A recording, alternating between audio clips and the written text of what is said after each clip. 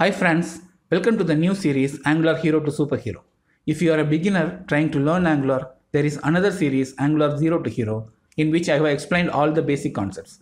You can find the link in the description. In this Angular series Hero to Superhero, I am focusing on advanced concepts. In this video, I am going to explain about fork join. Fork join is a RxJS operator which is used when we have a group of observables. One common use case for this is if you wish to make multiple requests and only want to take action when a response has been received for all. Here I am going to use observables.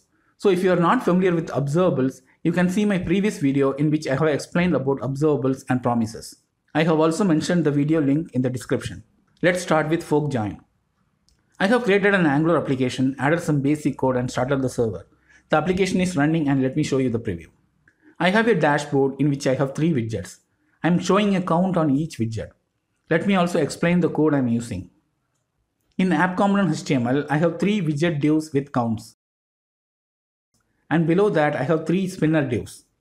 That is what you are seeing here. And in app component TS, I have declared these count and spinner variables.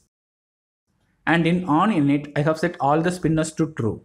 And then I am calling the getData function.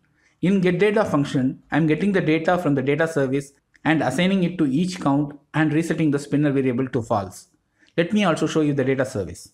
In data service, I have created observables and emitting the data in different time using set timeout. You can see the first widget data is getting emitted after 5 seconds and the second one is emitted after 1 second and the last one is after 3 seconds. That is why you can see data is showing in different time.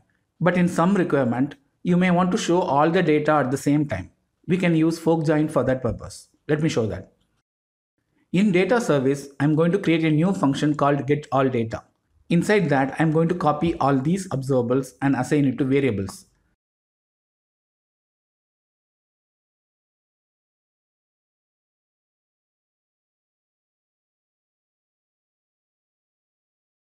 And then I'm returning all these observables using fork join like this.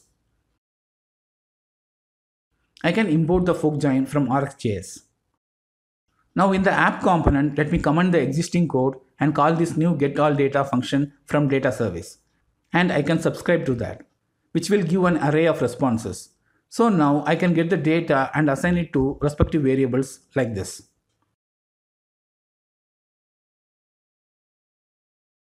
Now if I refresh the page, we can see all data will be shown at the same time.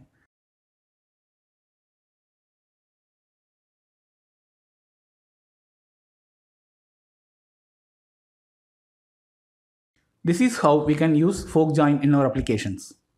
If you like this video, please subscribe to my channel and support me. I'll be back with another concept soon. Thank you. Bye.